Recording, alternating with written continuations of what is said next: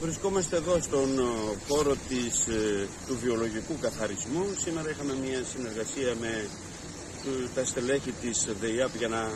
επανεκτιμήσουμε σε ποιο σημείο βρισκόμαστε. Ε,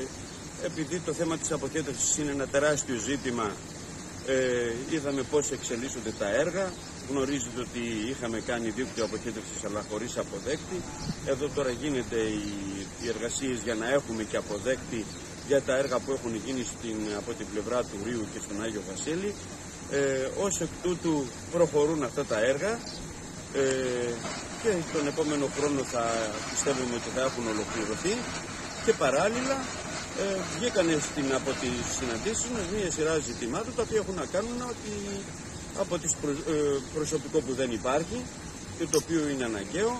ε, όλο αυτό το οποίο γίνεται το τεράστιο έργο από τη ΔΕΙΑΠ στο ζητήματα ίδρυυσης αποκέντρωσης γίνεται από ένα υψηλού επίπεδο εργατικό, δυναμικό και επιστημονικό οι οποίοι όμως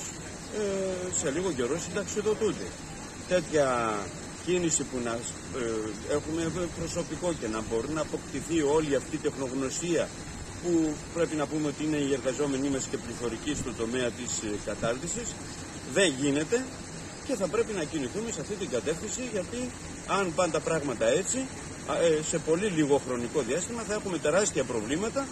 που για μένα τους κυβερνώντες ε, είναι θεμητό να υπάρχουν διότι έτσι θα υποχρεωθούμε να παραδώσουμε αυτό το κρίσιμο τομέα στον ιδιωτικό επιχειρηματικό τομέα που εμείς δεν το θέλουμε και δεν το θέλει και ο πατραϊκός λαός γιατί αυτό σημαίνει πολλαπλασιασμός των χρημάτων τα οποία θα πληρώνει για υπηρεσίες που πρέπει να έχει και θα χαθεί και ο δημόσιος χαρακτήρας ενός κρίσιμου τέτοιου ζητήματος που αφορά τη ζωή μας.